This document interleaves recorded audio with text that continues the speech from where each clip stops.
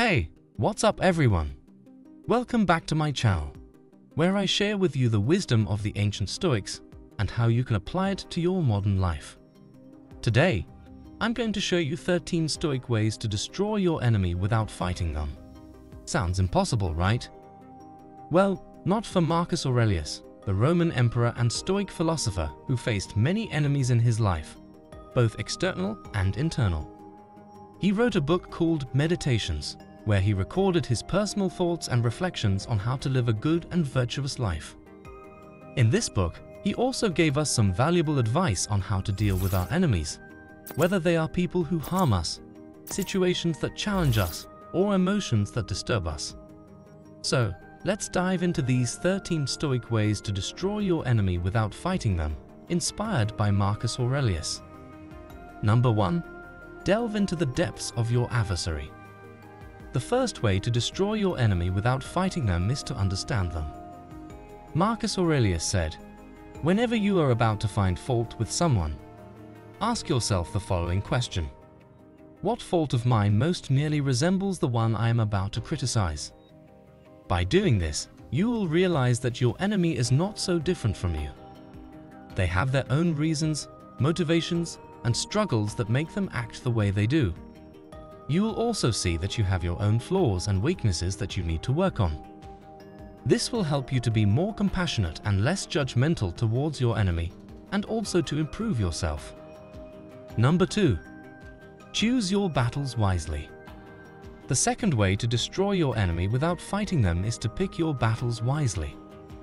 Marcus Aurelius said, The best revenge is not to be like your enemy, by this, he meant that you should not stoop to their level and engage in petty quarrels, insults, or violence. Instead, you should focus on what matters most to you and what is in your control. You should also remember that not everything deserves your attention or reaction. Some things are trivial and insignificant and not worth your time or energy. By choosing your battles wisely, you will avoid unnecessary conflicts and preserve your peace of mind. Number 3. Speak with calm and clarity.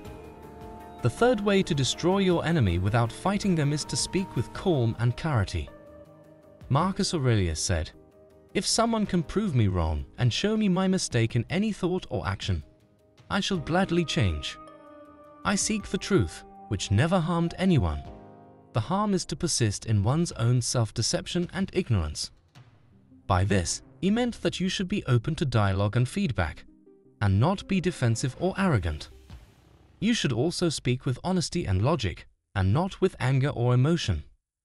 By speaking with calm and clarity, you will show your enemy that you are rational and reasonable, and that you are willing to learn and grow. Number 4. Seek the shared path.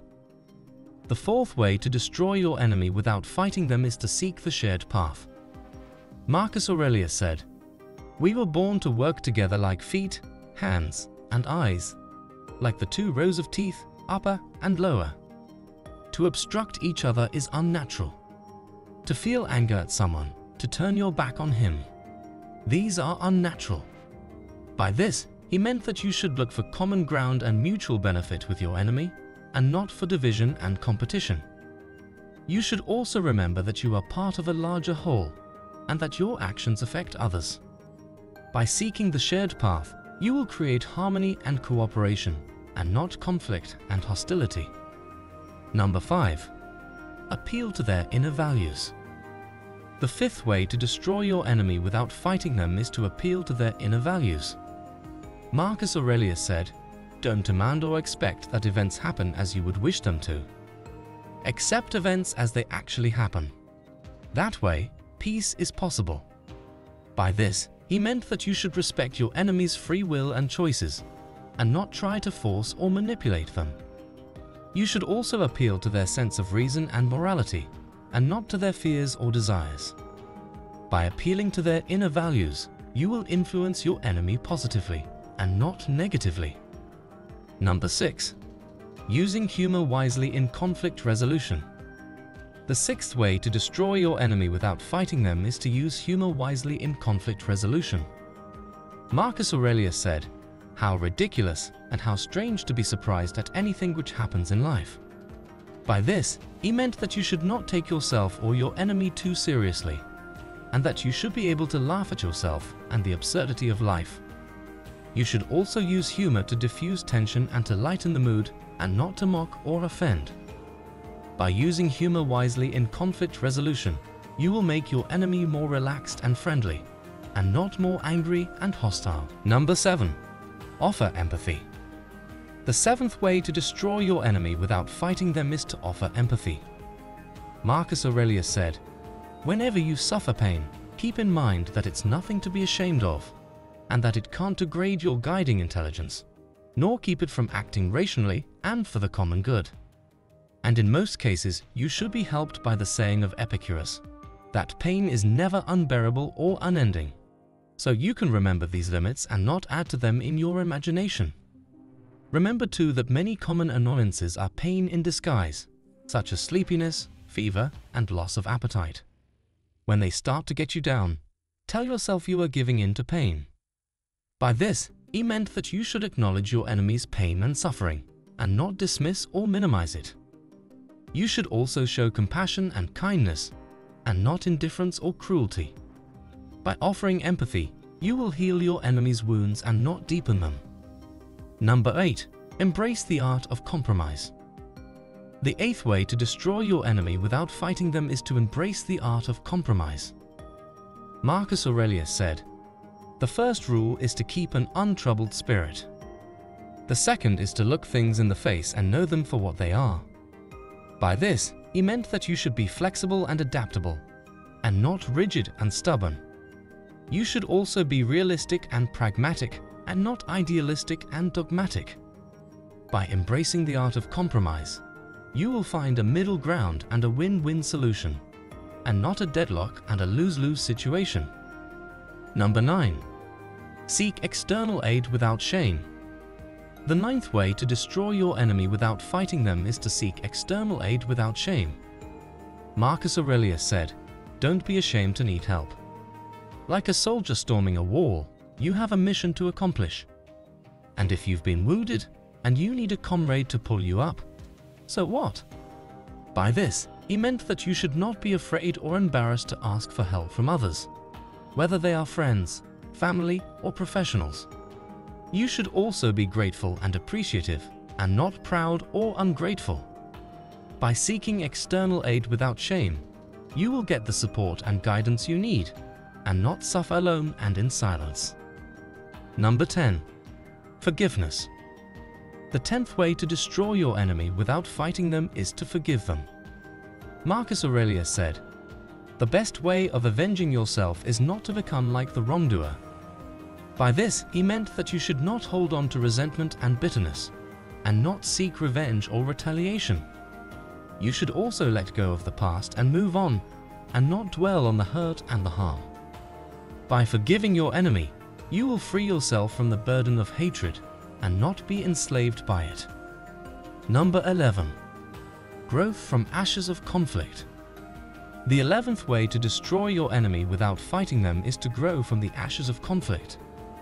Marcus Aurelius said, The impediment to action advances action. What stands in the way becomes the way. By this, he meant that you should not see your enemy as an obstacle, but as an opportunity. You should also use the challenge as a catalyst for learning and improvement, and not as an excuse for failure and stagnation.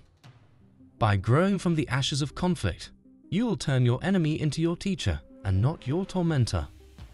Number 12. Setting boundaries. The twelfth way to destroy your enemy without fighting them is to set boundaries. Marcus Aurelius said, You have power over your mind, not outside events. Realize this, and you will find strength. By this, he meant that you should not let your enemy invade your personal space and violate your rights. You should also assert your needs and preferences, and not compromise your values and principles. By setting boundaries, you will protect your dignity and integrity, and not lose your identity and self-respect. Number 13. Remember, you control your reactions. The thirteenth and final way to destroy your enemy without fighting them is to remember that you control your reactions. Marcus Aurelius said, choose not to be harmed, and you won't feel harmed. Don't feel harmed, and you have a beam. By this, he meant that you should not let your enemy affect your emotions and thoughts, and not give them the power to hurt you. You should also choose how to respond to your enemy and not react impulsively or irrationally by remembering that you control your reactions. That's it for today's video, folks. I hope you enjoyed these 13 Stoic ways to destroy your enemy without fighting them, inspired by Marcus Aurelius. If you did, please give this video a thumbs up, share it with your friends, and subscribe to my channel for more Stoic wisdom. Also, let me know in the comments below which of these ways resonated with you the most and how you plan to apply them in your life. Thank you for watching and I'll see you in the next video. Peace out.